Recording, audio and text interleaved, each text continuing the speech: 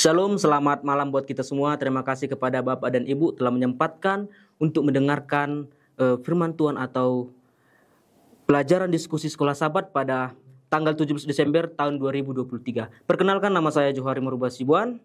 Saya akan uh, meringkas pelajaran sekolah sahabat kita pada hari Minggu yang judulnya adalah ditawan dalam budaya asing. Nah, kita mengetahuinya bahwasannya orang-orang Yahudi pernah ditawan. Yang pernah ditawan ada pernah dua kali yaitu pada bangsa Babel dan keduanya di bawah Persia. Nah, di sini juga dikatakan sebagai contoh tidak satu pun dari kita tinggal di sebuah negara Advent, tetapi di kita juga mempelajarinya bahwasannya sebelum bangsa eh, Yahudi ditawan mereka sudah pernah tinggal di negaranya sendiri. Berarti mereka sudah lebih menguasai bagaimana Advent itu tersebut. Nah, bagi kita pada saat kita sekarang, kita adalah tidak ada yang namanya negara Advent, tetapi negara kita adalah negara yang bersatu.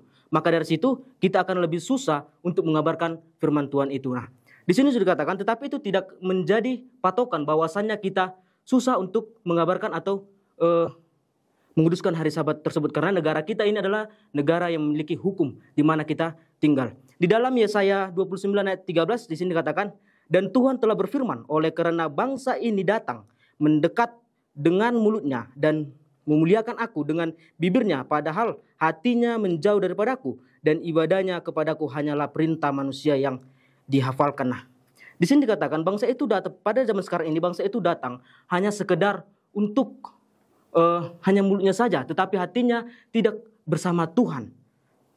Dan juga dia beribadah hanya dengan perintah manusia. Dia tidak sungguh-sungguh dengan hatinya. Nah, di sini saya mengambil kesimpulan bahwasannya uh, di mana pun kita berada, kita harus tetap menguduskan hari Sabat.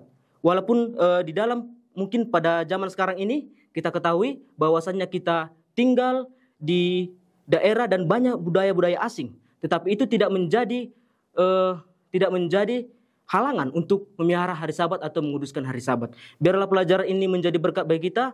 Tuhan Yesus memberkati. Amin.